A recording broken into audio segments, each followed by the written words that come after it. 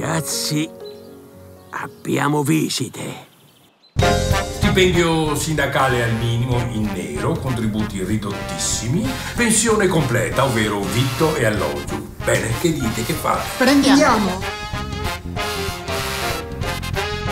Deficienti, ignoratele. Ma non capite che sono venute per fregarci. Buongiorno. Dobbiamo partire per una missione. Una missione di guerra. Sì.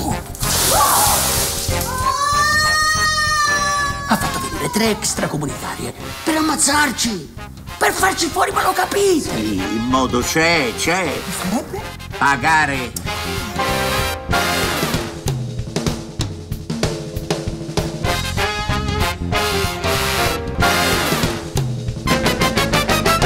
Vecchi rimbambiti.